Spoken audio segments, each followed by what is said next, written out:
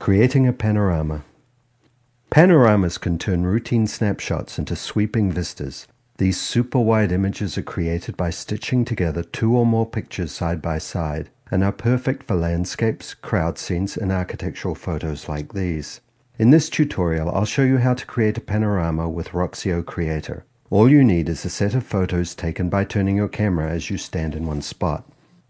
Let's get started. First, open Roxio Creator. Then click on the Photo tab and choose Create Panoramas. This will launch the Panorama Assistant. There are just three steps to go through.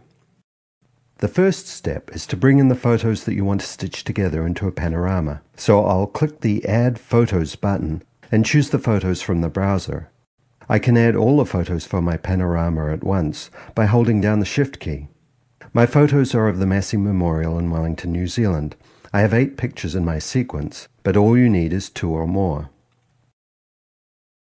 Some of my pictures are in the wrong order, so I'll drag them into place.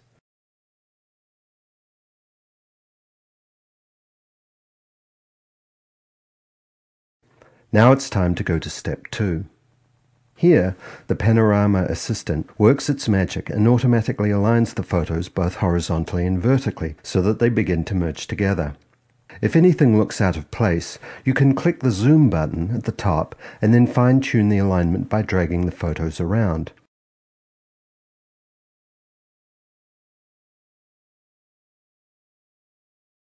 Don't worry if it doesn't look perfect at this point, the edges will be blended in the next step.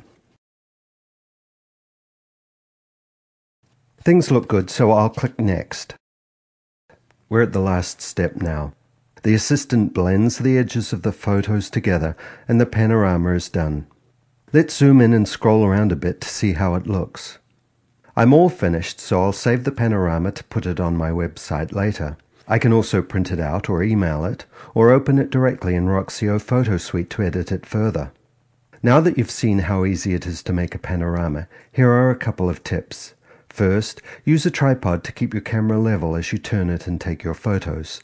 Second, Overlap each photo about 25% with the previous one. That will help them blend smoothly.